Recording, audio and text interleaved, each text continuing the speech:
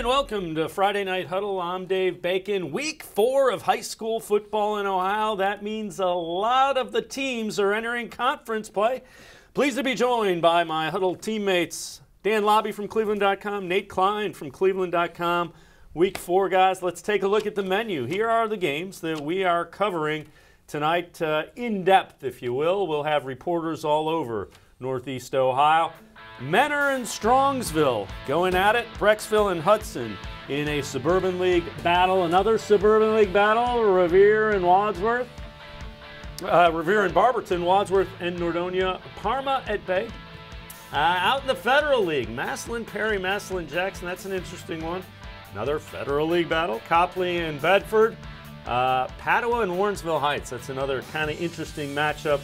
Solon and Elyria and uh, Euclid and Medina. So you see the games. Uh, Dan Labbe, uh, what is it you're looking at? Which one of these uh, kind of grabs your attention? I like this Brecksville Hudson matchup, Division Two, Region Five matchup. Uh, two teams that really could use this win, two and one. Of course, Hudson is coming off of a, a really tough loss against Canton McKinley, but Colt Pillay, when he's played well, uh, you know, a couple weeks ago, 14 of 20 threw to six different receivers. He's a difference maker for them. And on the, then on the other side for Brecksville, yeah, Luke Sternad there last year.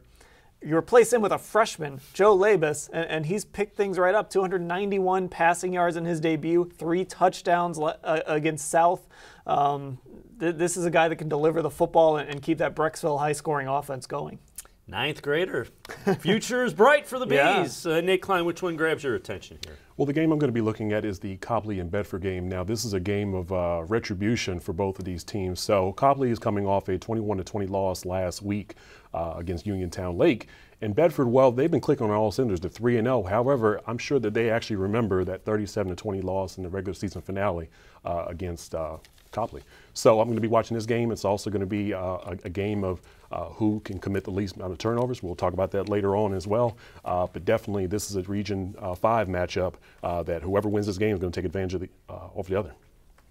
Yeah, and one that I am kind of interested in is the, um, the Euclid game against Medina. Euclid team that's been really good in the first half. 2 and 1 was leading St. Ignatius 14-10 at halftime after they threw a pick six on the first play of the game and uh, then just kind of fell apart in the second half. And that's kind of been the story. Uh, Coach Rotsky's trying to figure out how to get the second half rolling, kind of like he has the first half. If it was an easy answer, he'd have it done, obviously, but uh, Euclid working on that um, as well. So that's uh, kind of an interesting game as well. Yeah, yeah. And Dave, I was with you in that press box uh, when I wasn't down in the first half, but uh, that game, I was, uh, you know, it, it, was it was a, it was a pleasant surprise to see Euclid come out in that first half. The defense, you know, that was something that uh, Coach Kyle was talking about. Said, look, this is a very aggressive defense. Um, we need to be able to find a way to be able to balance our offense. Uh, but you know, you know credit to Euclid, great first half, but you know the next answer is how are they going to finish off in the next two quarters after that? And, and if you look at Region One, you know according to Joe Eitel, I mean that that's a tough region. You got a bunch of three and O's, a bunch of two and ones. That's where Euclid is sitting. Um, so you don't want to you don't want to fall too far behind, get that second loss too early. So this is an enormous opportunity for them. Yeah, and you know there's uh, you know again there are worse things than being a team that starts really fast and then because you can get away with that against some teams. Mm-hmm. You know, um, they they got out to a big start. They were leading Glenville 32 to six after the first quarter, and then Glenville came back. Uh, same thing, beat Aurora, a very good Aurora team, and, and Aurora made it a game. So there are worse things than than you know having to figure out how you put two halves together, especially when you've been so good in the first half of games. And, and they've played such good teams. You touched on it: Glenville, St. Ignatius, Aurora. I mean, I'm going to go out on a limb and say Aurora is probably the best 0-3 team in the state. Um, so. That's a good tough schedule. Now maybe as you kind of maybe it lightens up for you in spots, and like you said, you can afford those slow starts um, if, if it comes to that.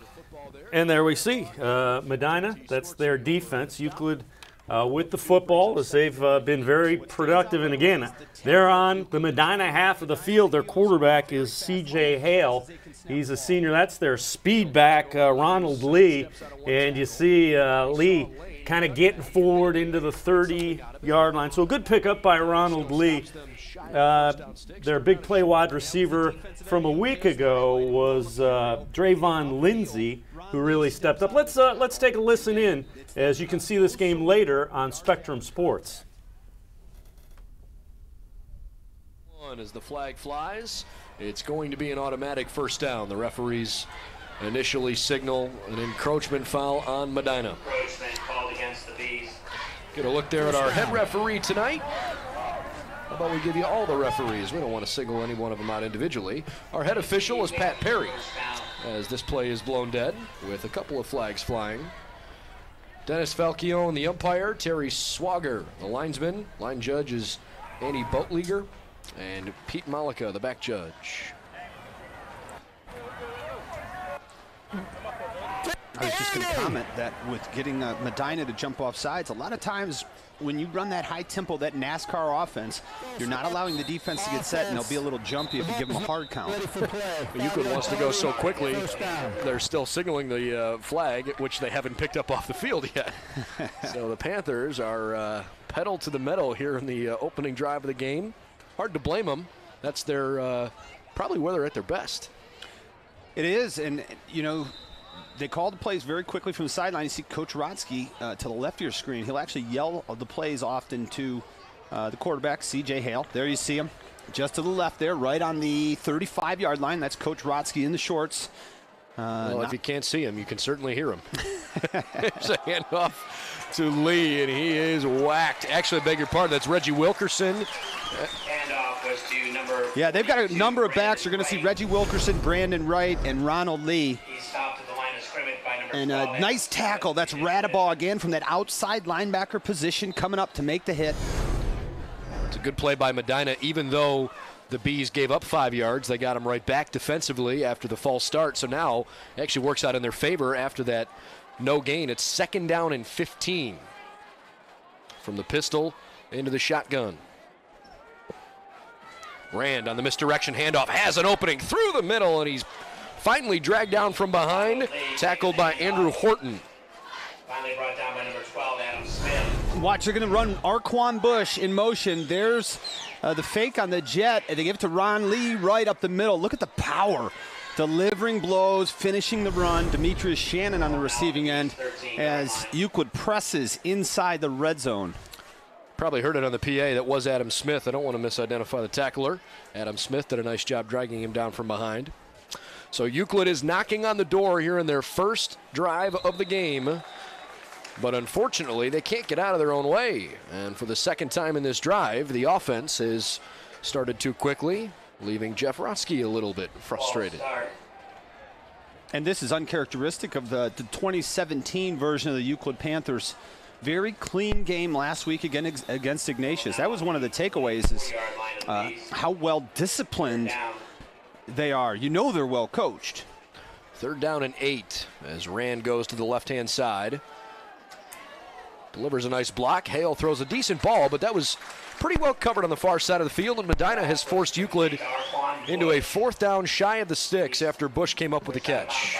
Yeah, they've got Arquan Bush in the slant. Um, I'm sorry, in the slot to the top, and they have Drayvon Lindsay, who you know is going to attract attention. Now, I had a chance to talk to both Coach Larry Laird. We, we did rather, as well as Mike Rodak, the defensive coordinator. And this is something they worked on all week. Identifying where the playmakers, especially Lindsay, are, and making sure they don't let them inside on the slant. That time it was Lindsay up the sideline and an out route from Arquan Bush. Well, Euclid wants to go for the jugular here early. They're out to make a statement on the first drive of the game. It's fourth and four, and that's a first down, maybe a touchdown. It's awfully close as Javon Owens brings it down just shy of the goal line. He's down to the one. Five yard hitch, Brendan. Easy pitch and catch, and there's making the defender miss.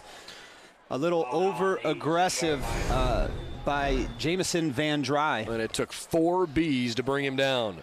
Nobody's bringing down Ron Lee. He's in. Touchdown, Panthers. Panthers touchdown. Ronald Lee gets behind big Ryan Johnson, who you had pointed out uh, as we were going through the starters. That's the right guard, and Jalen Jackson, the right tackle. And it's Ronald Lee. So there you see, Ronald Lee caps it off, and Euclid continues to play very well early in the game. A good drive by the Panthers. Let's look in on St. Ignatius, courtesy of the SIBN St. Ignatius Broadcast Network. There's Mark Babinski, and he's inside the five yard line. So you see uh, St. Ignatius playing Detroit Catholic Central. It's a team from the Michigan area, or state of Michigan, that beat them a year ago uh, on a controversial play in overtime, but they did hand St. Ignatius one of their losses. Their legendary coach uh, retired after the year. One of his assistants took over. Second down and four for the Panther or for the Wildcats. There's Babinski. He gets the outside. Babinski keeps going and brought down at the two. Want to remind you, this is the uh, SIBN, St. Ignatius Broadcast Network. So all students involved in this, uh, Jake Soraka and Dave DeSalvo, uh, running the camera for the uh, St. Ignatius Wildcats. Both of those young men are seniors. So uh, want to thank uh, their moderator, Jeff McCormick, for allowing us this look in uh, as St. Ignatius trying to take the early lead on Detroit Catholic Central. And there's Babinski again, spins and some good pursuit by uh, the Shamrocks from Detroit Catholic Central as they bring him down. Loss of a yard, so uh, it'll be fourth down and goal from the three, and they're going to bring out the field goal unit, Matthew Trickett really good kicker and a pretty short one there. He's lining up the 10 yard line. It'll be a 20 yard field goal early on as St. Ignatius trying to convert and uh, give them a, uh, an early lead here as you see time remaining in the first quarter. So the Wildcats trying to get the lead, snap and setter good, Trickett. knocks it through. So St. Ignatius uh, scores on their first possession to take an early 3 nothing lead. So, guys, um, two teams that played last week mm-hmm. doing pretty good and taking the early lead. Yeah, and for Euclid getting on the board early, that's great. Uh, how about this for Medina? Outscored 79 to 7 the last two weeks. So uh, you, you can put up some points against this Medina team, especially the way they've played the last couple weeks. And how about Detroit Central Catholic? That's Mark Babinski territory right there, inside yeah. the five yard line. Uh, and they were stout and held them to a field goal attempt. And what's disappointing, and, and, I'm wondering how they're going to respond after that. One of my keys going into that game was can St. Ignatius control this game? Obviously, last week when Euclid got out, you know, Euclid jumped out to that 14 point lead.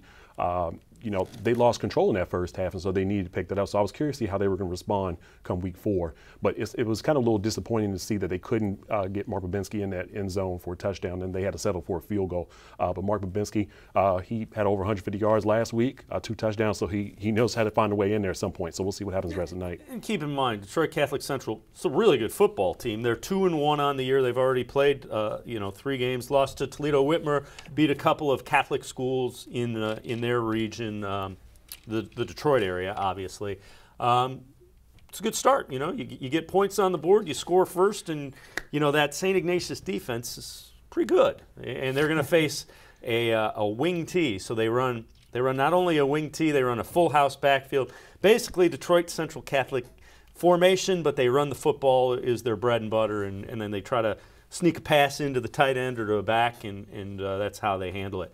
Um, if we switch gears Medina's beat up. Uh, you know, they're missing a couple of their very good defensive players. So um, obviously, Jeff Rotsky's going to try to get that, you know, out of control as early as he can for the Panthers. Yeah. there is no sympathy in week four of high school football. No, especially when you're in that Region yeah. 1 and, and you just can't. I mean, if you're 2 and 2, all of a sudden, you know, you're struggling to play catch up. And uh, for Medina, it's just it's just been rough for them. You know, they beat Lakewood in the opener last two weeks. They, they played a couple of teams that are undefeated right now. Like I said, uh, 79 to 7 in those games, and it doesn't get easier. They've got Shaker, they've got Mentor, they've got Strongsville, Brunswick, Solon still on the schedule. So um, Medina's got to try and get right and get right quickly. Uh, we mentioned uh, one of the games we're keeping an eye on from the Suburban League. Bedford 3 0 taking on 2 1 Copley.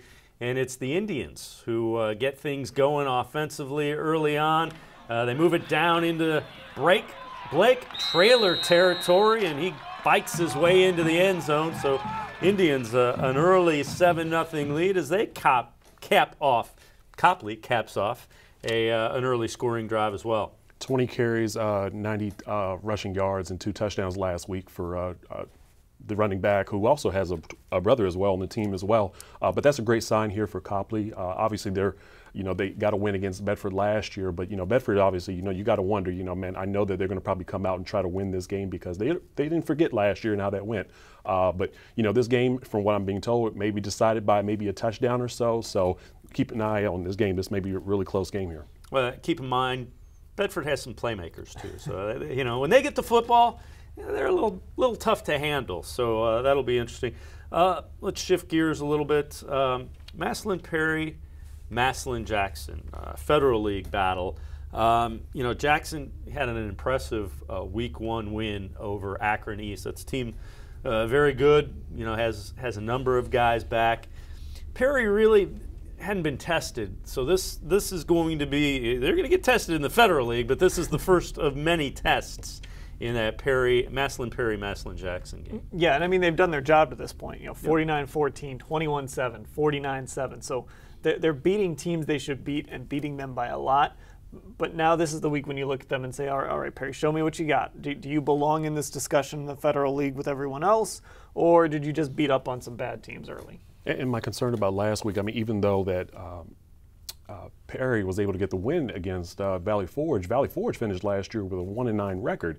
So we're kind of tabling like, well, what kind of Valley Forge did you see in Week Three? But obviously, one, they got the win. But now they've got to figure out how they're going to deal with the UMass recruit uh, Jared Pelota. Um, he's a handful. Uh, had a great game uh, last week, and uh, I'm curious to see how Perry's going to be able to contain that offense as well. Well, the, the other thing that happens when you get into the Federal League, teams are used to what Perry does. You know, Perry runs the wing tee. You know, their their version of mixing it up is okay. We're going to switch the the guard that pulls basically for the wing tee. And you know, the, the first three games, if you're not used to that, that's that's a lot. You can't simulate the speed of that. When you get into the Jacksons and the Greens and the rest of the Federal League, they've seen this. They know what's coming. So, if Perry can can do that in the Federal League, okay, that's that's a good thing. Yeah, and uh, Jarrett Pelota, we were actually talking about him. He's almost close to a thousand yards after three games already. Uh, so obviously, you know that they're going to air it out at some point. But also, just looking ahead, Joe Childress, uh, you know, he, he, has almost 300 yards. So uh, they have they have different ways they can attack you, and so Perry's going to have to figure out a way how are they going to slow down Jarrett and how they're going to slow down that offense.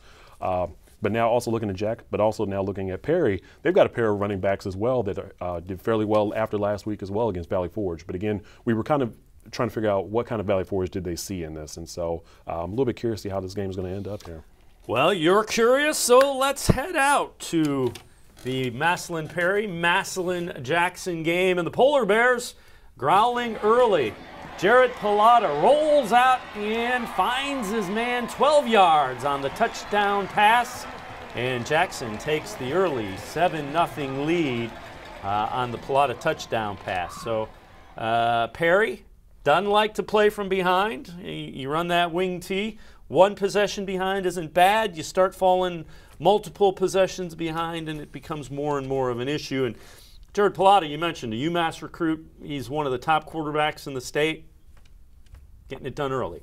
Yeah, it just puts more pressure on Perry. Like you said, one possession is doable. You fall behind by two possessions. Now you're in some trouble you start giving the ball away. So, you're trying to hold on to the football a little bit here, run your offense, get on the board somehow, and, and just stay within striking distance. And Perry's not going to. They're oh, not going to no. panic. I they're mean, Keith flinch. Wakefield has been coaching and doing this forever, so they'll get back at it. Uh, let's check in on the phone for the first time. Bryant Kaiser joins us. Bryant is at the Nordonia Wadsworth game. Bryant, what's going on with the Grizzlies and the Knights?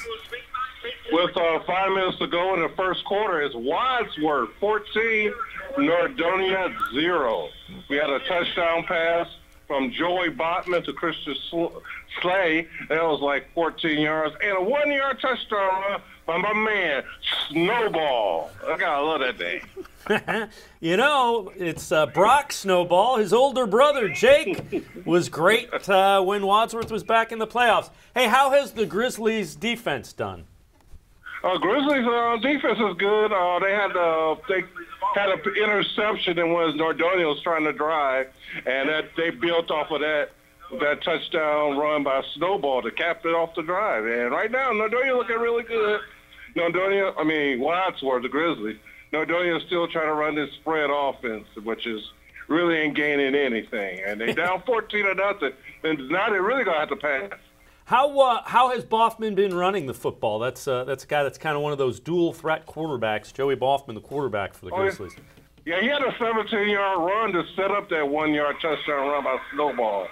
And you know, Bobbin, he's he's going to Virginia on a wrestling scholarship, so you know it's gonna tough to bring him down.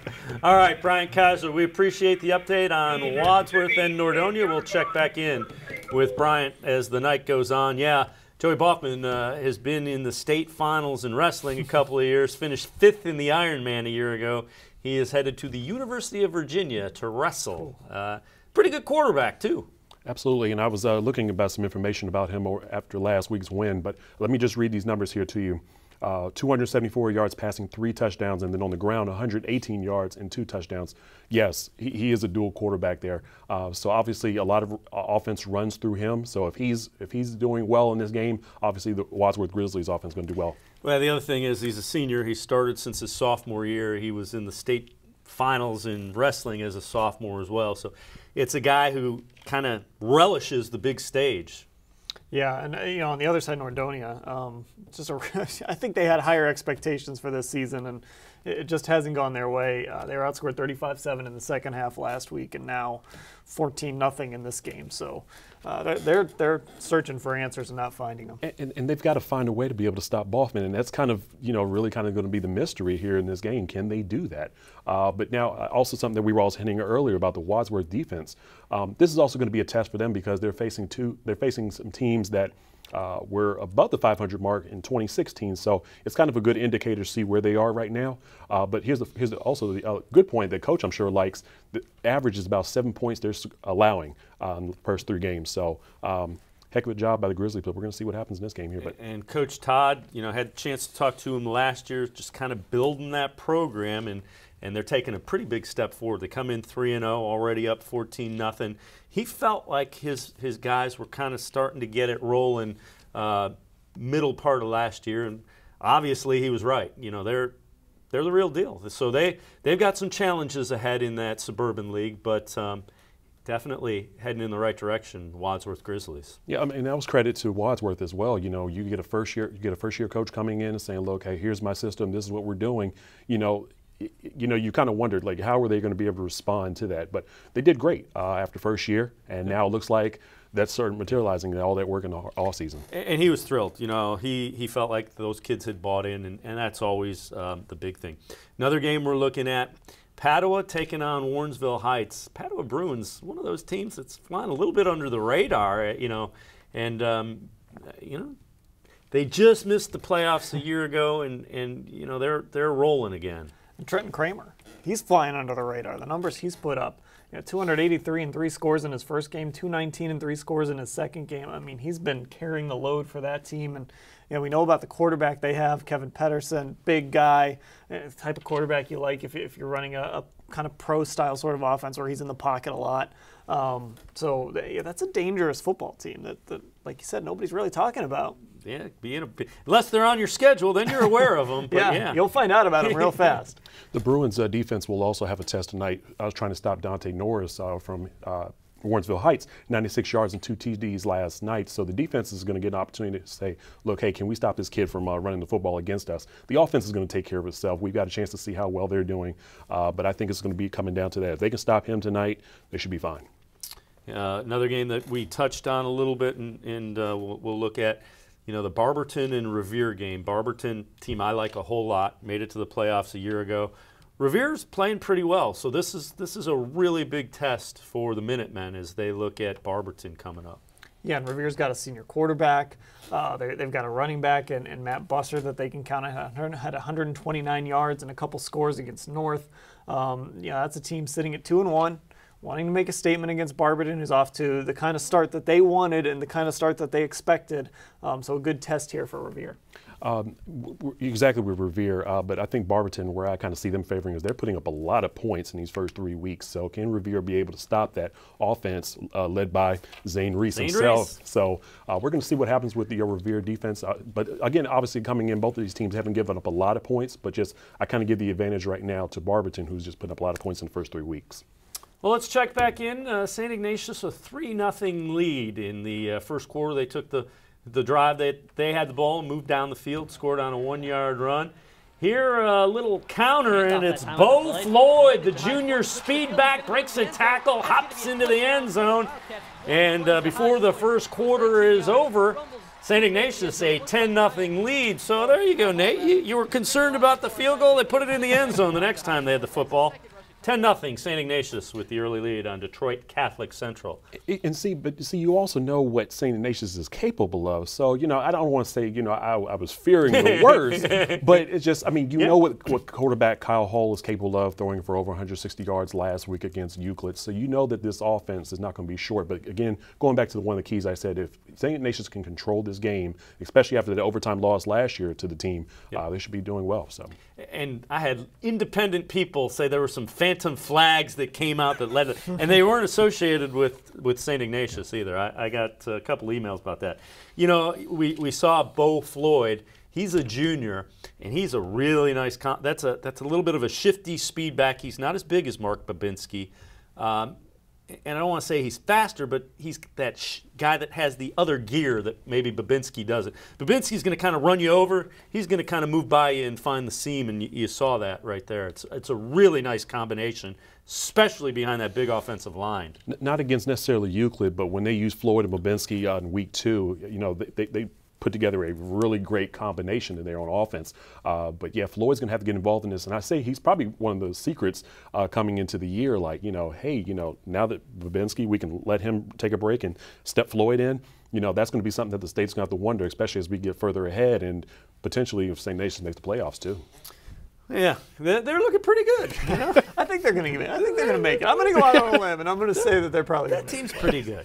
Uh, we had mentioned the uh, the Barberton and Revere game, and the Magic offense has been magic again. Uh, Seven nothing lead, and uh, Barberton's offense trying to get more, and it's Barker, Jeff Barker, fighting through. Good run by Barker. He finds the end zone uh, from six yards out, 14 nothing, as uh, the Magic putting points on the board in a hurry again. If, you notice that over the last few weeks, we've s- ta- we've heard about different names coming from Barberton being able to score the football. So, uh, man, this this is really good for Barberton's offense, and probably a little bit fearful for uh, the rest of the conference that they're going to be playing in. So, they got to figure out who they're going to stop. Yeah, uh, you know, there's Turnbaugh, the, the wide receiver. We know Keith Thompson, a running back. Barker has been a guy that's run it and caught it out of the backfield from Zane Reese. So you put a lot of those guys out and say, okay, how, how do you want to defend it? And, and you start digging into that defense's depth chart all of a sudden. You know, however you want to use those guys, whether you spread them out, uh, whether you put them in the backfield, whatever you want to do, you start digging into that depth chart of a defense, and it starts to expose some of these teams that maybe aren't as deep as they need to be defensively. And, and talking about defense, you know, uh, Revere, they're going to need this win tonight because they play in the region, Region Nine, uh, who's some familiar names that we've already talked about. Uh, but they need a win tonight because they need to be able to keep pace with some of those teams in that region. Uh, but Barberton right now looks like they're still continuing what they've been doing the last three games and just running that offense. Zane Reese with over 260 yards last week, so heck of a job by the senior. One of the games we mentioned earlier, Brecksville taking on Hudson. Explorers trying to rebound uh, from a tough loss against Canton McKinley. They're at home. This is a suburban league matchup, and the Explorers offense uh, looking pretty good as a little zone read. Kevin Callahan, look at him, little stiff arm, arm. gets into the end zone. He's not the biggest guy. He's pretty quick. Seven nothing. Hudson takes the early lead on Brecksville. Uh, I'll just go ahead and lead off. Uh, hashtag FNH top plays. Uh, if you want to submit your play, uh, just get on Twitter and use that hashtag. That's again, that's hashtag FNH top plays. But yeah, great job, uh, running back right there. But um, that was one of my keys coming into the game. And obviously, they played Camp McKinley. They lost that game, and obviously, just the defense that the Bulldogs present, you can't do too much. But one of my keys I was looking at that game was that. Hudson actually needs to make sure that they get out early and start scoring fast. And so obviously it looks like they're working on that already. Look a little bit like uh, Thomas Wilkes, a guy I'm sure we'll talk about from Solon. Um, small guy but powerful, and that stiff arm. You didn't ex- like first of all, you didn't expect to see him coming from behind the line, and then you definitely didn't expect to see that stiff arm to get into the end zone. Well, he's kind of hard to see. You Yeah. know, he's one of Well, those I didn't guys. see him until he came through. I mean, he's listed at five two, so he, he's not the biggest guy, but he's pretty quick. Yeah. And uh, so good for Kevin Callahan. Gets in 21 yard touchdown run, 7 nothing. Uh, Hudson with the early lead. Uh, that's a game they need. You know, you, it's one thing to, to go and lose to Canton McKinley on the road. It's another, you know, Brecksville on your home field. Uh, they need a rebound without question. Yeah, and uh, you know this is a, a program that knows how to win, and, and they're still in a good position in Region Five. But um, you know Brecksville is a nice test for them, and and then honestly on the other side, this is a good test for Brecksville. What kind of team are they? You know we know about their defensive issues a year ago. Have they have they cleaned those up a little bit? Hudson though has an opportunity if they win this game to maybe put together a little bit of a run before they have to face Stow in mid-October. And Brecksville's offense, I mean, you know, just historically, I mean, we know that that program does very well. 359 passing yards from uh, Joe Labus. Uh, we were talking about him. Wow, you know, so this offense knows how to get down the field if it needs to. But again, this is a uh, conference game as well. They're both in the same region, and so obviously a win would go pretty far to help them in the playoffs. We are just about a half hour into week four of high school football. We're going to step aside and take a quick break. We're going to check in with one of our student reporters as we head to break. Matt Ganser takes us to the Bay student section. Take it away, Matt. Thanks, guys. I'm here with tonight's leaders of the student section.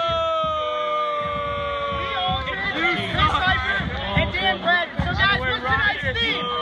Jersey theme, baby, Jersey. So, what have you thought of the student section so far tonight? The, uh, the upperclassmen have done a great job, but the freshmen are doing a very freshmen are, like, not doing too great. well. We're trying to get them up to speed, if you know what I mean. You know, They're- I mean, they're still young, but they got time to grow. And we'll work on it. All right. So let's hear a good chant. All right. Let's go Rockets! Let's go Rockets! Let's go Rockets!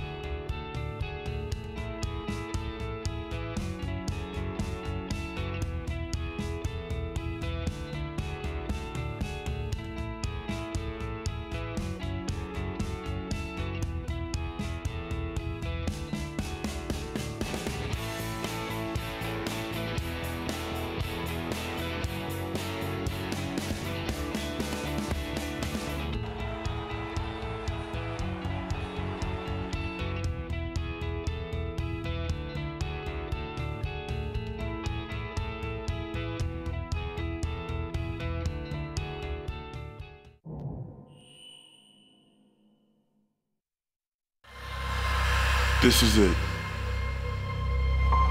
Your big break. Your one shot. Your only chance. There are two outcomes. Make history or be history.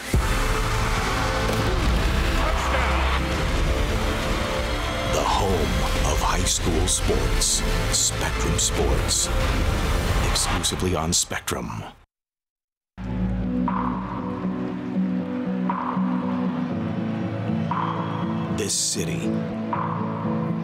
Club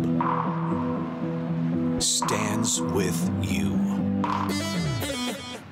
Danger from Mira! What you live for lives here. The volley Kamara, yeah! Ohio's television home of Columbus Crew SC. Spectrum Sports. Exclusively on Spectrum.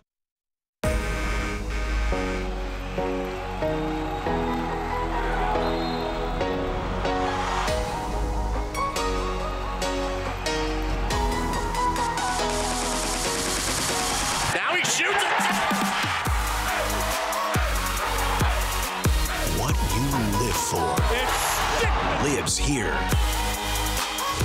We are Spectrum Sports, exclusively on Spectrum. Wednesday nights. Get ready for kickoff with Spectrum Sports. High School Blitz Preview. The can't miss show for all things high school football. We'll break down team news, the latest standings, and what to expect on the road to Canton. High School Blitz Preview, Wednesday nights at 7 on Spectrum Sports. Exclusively on Spectrum. Every week, from the locker room to the pitch and everywhere in between, Access Crew SC is your ultimate inside look at the black and gold. Join Marissa Contepelli, Dwight Burgess, and Neil Sika for unmatched coverage, in-depth analysis, and exclusive talks with the players and coaches. This is your club. This is your access. Access Crew SC, Wednesdays on Spectrum Sports. The Ohio Lottery's Partners in Education program has been recognizing students and teachers who shine both in and out of the classroom since 2007. To nominate a deserving teacher or student, go to ohiolottery.com and click on Supporting Education. Students in kindergarten through 12th grade are eligible to be academic all-stars. K through 12 teachers can be honored as the Teacher of the Month. Every school that participates is eligible to be honored as the School of the Year. The Ohio Lottery's Partners in Education, where stars shine. Have you ever lived for something? Have you ever dreamt of something? Something more? Something special? Something bigger than yourself? Well, have you? This is what you live for!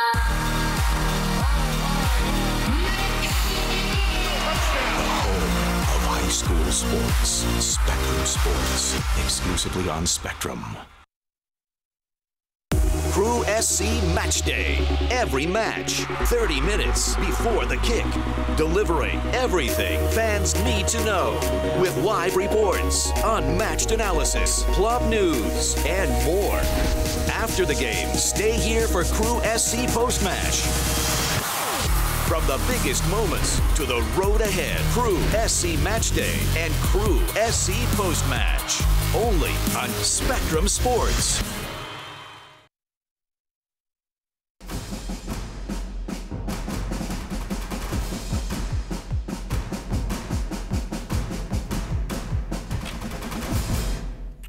Welcome back to Friday Night Huddle, week four across the Buckeye State for high school football. One of the games we're keeping our eye on the Euclid Panthers taking on the Medina Bees. Euclid, a 6 0 lead after they punched in the one yard touchdown run. And here's Ronald Lee again, a nice cut, and look at the speed 24 yards on that touchdown run. This time they converted the point after. So a uh, 13 nothing lead early in the second quarter uh, for the Euclid Panthers. 13 nothing, and that's actually in the second quarter now, uh, as Euclid has the lead on Medina. So. Uh, you know they they've got some weapons, and you, you know you you play outside to try to take away the speed, and Ronald Lee and some of the big guys that block in front of him are going to hurt you. And uh, Jeff Rotsky's got a nice roll going on offense. It's a great sign to see uh, Lee actually getting up two two scores already because last week he only had 108 yards but no scores, which was unbelievable. So I'm just glad to see that. Uh, you know, well, I'm sure the coaching staff is glad to see uh, that you know Ron was able to get in for a couple touchdowns and get uh, score early. But uh, yeah, Euclid's got to uh, start out early and try to maybe even finish this out in the second half. We've been talking about. Yeah, you know the the interesting thing is, you know, against Ignatius, it's a little different because they they run, you know, a three-three stack. So it's basically the the defense that Saint Xavier has made popular under Steve Specht. A little different to try to run against that when you're not used to it. And what they'll do is two of those safeties in the five in the back. They're basically linebackers that can run.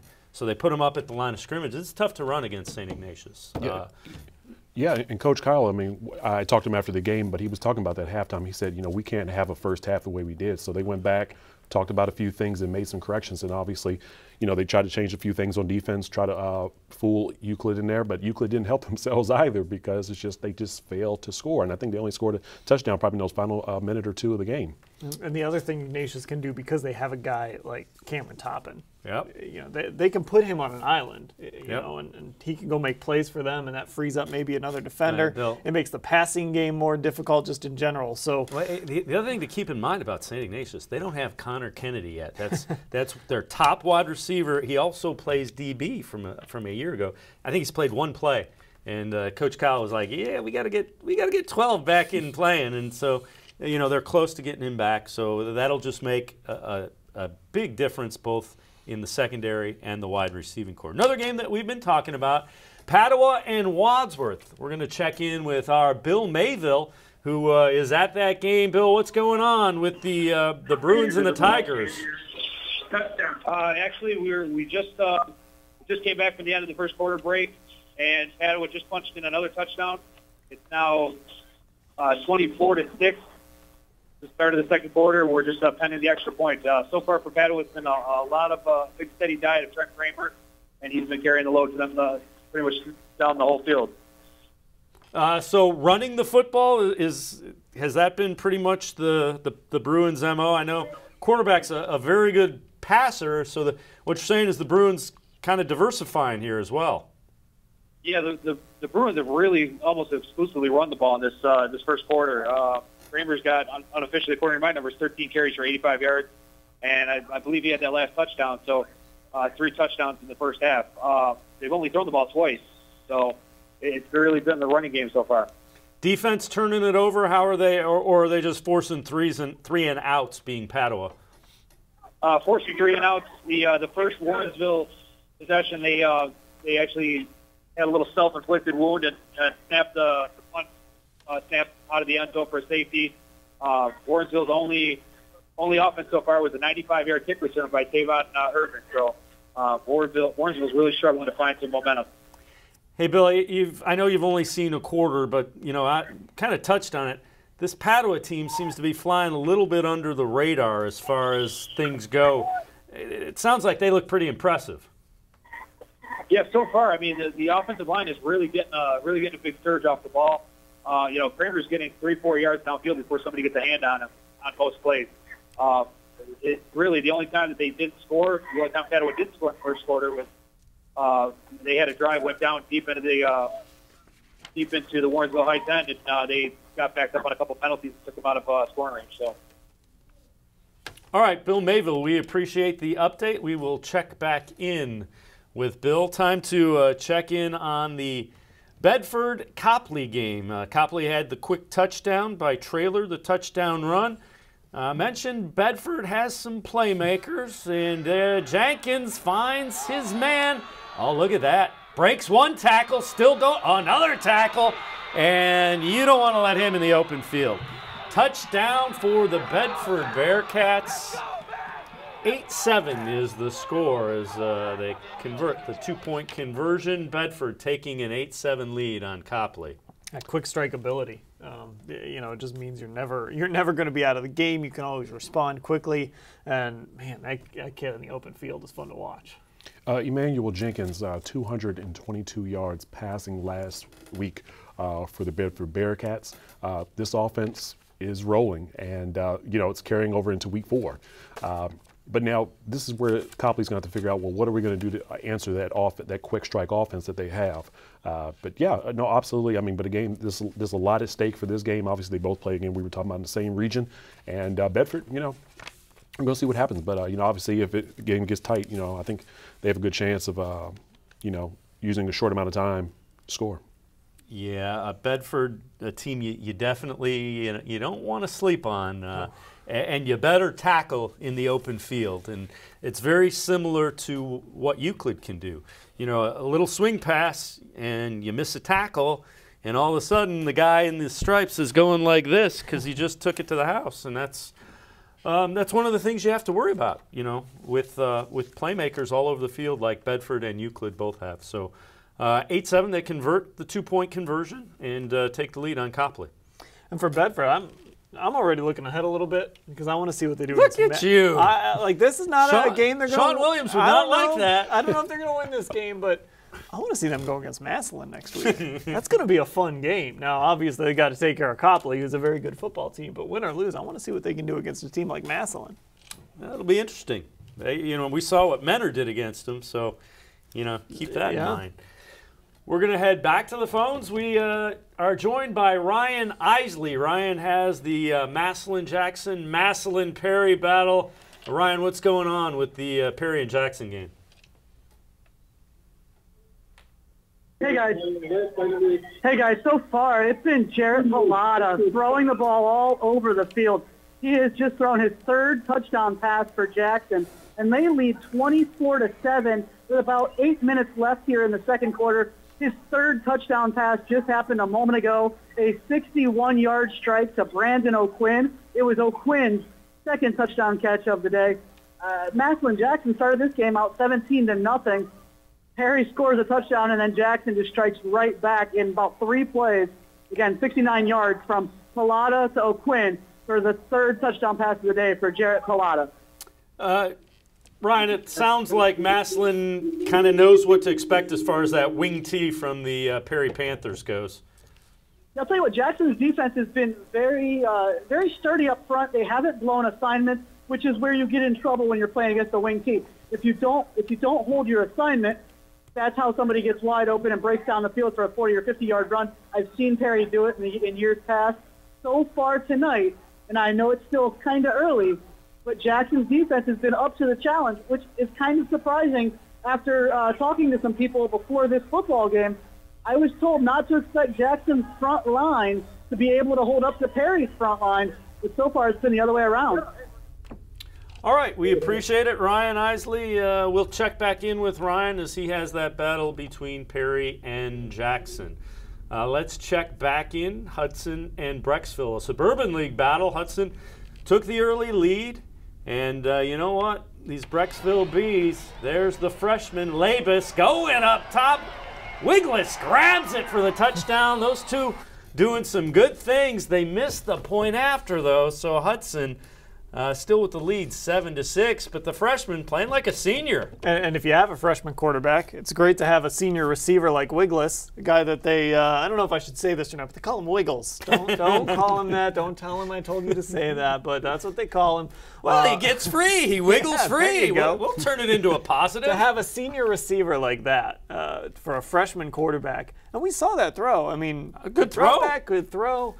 You saw they the might have something cooking I mean, there. Well, the, the thing is, you saw him stand tall in the pocket and deliver the ball right on the money behind. You know, the, Wiggle, beat the coverage, Mm-hmm. and he put it right on the money. They got a pretty good running back too, and, in Alec Buckley. So they've got weapons, as they always do at Brecksville. Absolutely, and I, I felt like going into this game, you know, it's going to come down to who can make the play in the end because there's going to be a lot of yards, there's going to be a lot of points being put up in this game. Uh, that's my prediction. So we're going to see what happens. Ooh, we're going to Uh, hold you to that. Yeah, we're just, we're just going to see what happens. Defensive coordinator for Hudson ain't going to be happy about Nate's prediction. But no, but absolutely, and, and bringing that point, I mean, the defense, that's one of my concerns. Uh, You know, just I felt like Hudson was putting up a lot of points, and Canton McKinley, they don't help that case either. Right. But no, they just, I felt like they put up a lot of points, and uh, they, they've allowed a lot of points in these first three weeks. And so that was something that they needed to clean up, especially in Brecksville's not going to help that case either. Uh, but Labus, over 300 yards passing last week, so, you know, he's very dangerous as a freshman. But take a look. We're going to see what Greg Melly does uh, here on his next turn. All right, let's uh, check back in with one of the featured games that uh, we have been following the Euclid Panthers taking on the Medina Bees, and uh, Medina answering, and a handoff, big hole, and heading into the end zone is Levi Pokersnick. And he is a transfer from Benedictine, went back to his home school in Medina, goes into the end zone to cut into that 13 0 Euclid lead. It's now 13 7. So Medina answers. They're a point after and a point, uh, a point after and a touchdown away from taking the lead. So good for the Bees. And they've got to get that offense going. Seven points total in the last two weeks, so to get seven here in the second quarter, and you can't fall behind Euclid. Uh, you you want to stay close, especially because as we've talked about, we know Euclid is a not a strong finishing team necessarily. So uh, they'll punch you, you got to be able to punch back, and that's a good a good start by Medina. We'll see if they can sustain this though. And I'm sure it was a great sign to have Medina see a score go in because he was the only one that scored in that 44 to seven loss to Wadsworth last week. Uh, but again, this is a conference game. Uh, these two teams are very familiar with each other. And uh, last week, uh, Medina lost their second running back. Uh, with injury last week, so uh, this team, this offense needs to find a way to be able to put some more points on the board against a very talented Euclid offense. And, and Pokersnick is a guy that plays quarterback. He played quarterback at Benedictine. Uh, they switched him into the backfield, as you alluded to, when they lost their second running back. Uh, they're trying to get Dylan Fultz back. Uh, he and, he's another guy that's big play potential that's been banged up. So bees are banged up, fighting. Uh, just a touchdown and a point after away from taking the lead. So uh, good things for the the Medina bees in the early going. Uh, against Euclid. Yeah, they've just got, they've got to figure out how to cover all those weapons. It's easier said than done. Yeah, and absolutely also to lose your quarterback too, Gavin Montgomery. Wow, I mean, you know, this team has got to figure out some answers and also some leadership. Like, who's going to be able to put these points on the board? Who's going to be able to tell us, you know, where do we need to go? So th- those guys are going to be looking off on the off sidelines, trying to figure out what's going on and what the coaches need to want. So. Well, what we're going to do, we're going to head to the phones. Bryant Kaiser is at the Wadsworth Nordonia game. He joins us on the phone. Bryant, what's going on with the Knights and the Grizzlies? Well, well, we're about to have a shootout over here. It's now it's 21-15 Wadsworth. Um, uh, Nordonia is coming back. Uh, good game, so good game, good game. They just had a 45-yard touchdown pass to Dottie Wisdom, Nordonia. He intercepted a pass. It's like in baseball. You make a great play on defense, you come off the bat hit a home run. That's what he just did. And it's like 21-15 uh, with 6.51 to go in the second quarter. I hope you have a lot of paper to write down all the scoring that's going on here. Uh, has it seemed like the has the Knights defense seemed like they might have figured something out there? Or? Yeah, uh, a lot of a lot of missed tackles. Uh, the little pass they had for 40, 55 yards. Uh, I think they was in a cover two, and I think the one in defensive back for Wadsworth did not know that. So he went um, 40 yards untouched. So. All right, Bryant Kaiser, we will check back in with Bryant. Uh, he will give us updates from the Wadsworth Nordonia game. Good, good for the Knights. Uh, you know, they, they, they come back and cut into that lead, and now it's a six point game. And, and offense hasn't been a problem for the Knights, really, for the most part. It's been, it's been defense.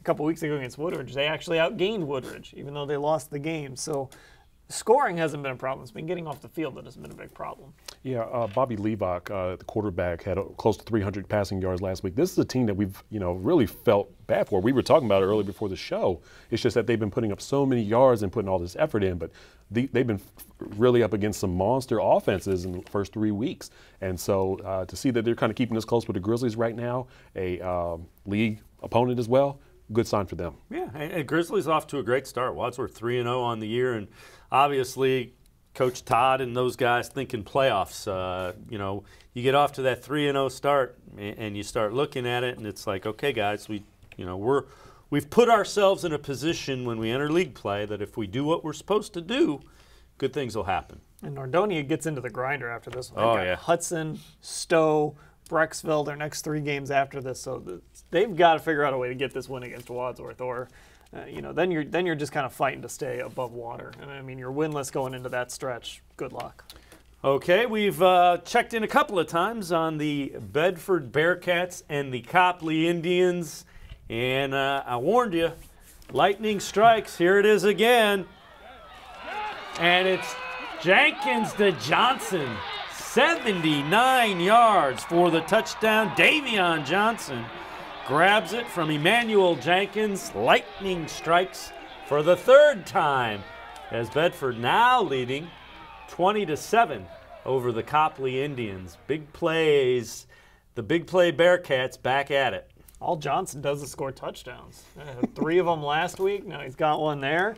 Uh, man, Number four knows how to find the end zone. Yeah, I think he has like touchdowns in his pocket, and he just like said, "Oh, here you go, Bearcats. Here, I got you one." But yeah, uh, uh, 132 yards receiving last week on nine receptions, two touchdowns uh, in the air and then one on the ground as well. So uh, Johnson knows how to find the end zone, and as we were talking about, yeah, it must be in his pocket somewhere. So sounds like Jenkins knows how to find him too. Yeah, I mean it's it it does make it a little fun when you've got speed and you can spread guys out, get the ball to your speedy playmakers in space, and then say, okay try to tackle him. And, and, then you go back to week one. Kenneth Wilkins had five scores, including a defensive touchdown. Uh, I mean, there are playmakers, kind of like with Euclid, there are playmakers all over the place with Bedford. In, in, the last meeting with Copley, you know, I felt like this was something that, you know, what was getting in the way of Bedford were the turnovers. Uh, you know, they have so many play, guys that can make plays, and obviously, you know, this is probably this is a good sign to see Sean Williams say, like, you know, hey, I, I, think we can get it around the field. I think we can move it around as much as we can. Uh, but yeah, you know, so far, I'm sure coach has got to be pleased right now with this effort. And those turnovers will drive Sean Williams crazy. He's a guy that preaches taking care of the football, like most coaches. We're going to step aside, take a timeout as we head to break. Our band correspondent, Krista Defini from Independence High School, is with the Nordonia Band. Take it away, Krista. Krista Defini here at Nordonia High School with the Lancer Marching Band. Brass section is behind me. The, as they warm up, they're in different sections, which is different from last week's band, who did it all together and performed marching as their warm up as well. This band is a competition band. They perform in state competition, OMEA, and BOA Midwest competitions. They have only scored superior multiple times in the fifth, in the past 50 years that they've ever performed there. That's pretty impressive.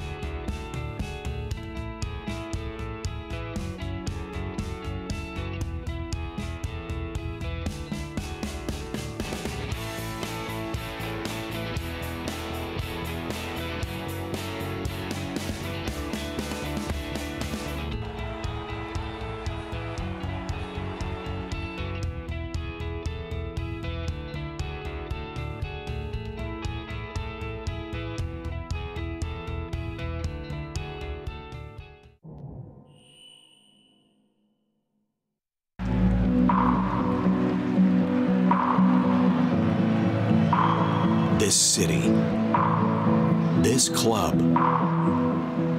stands with you. Danger from Mira! What you live for lives here. The volley Kamara, yes! Ohio's television home of Columbus Crew SC. Spectrum Sports. Exclusively on Spectrum. Wednesday nights. Get ready for kickoff with Spectrum Sports. High School Blitz Preview. The can't miss show for all things high school football.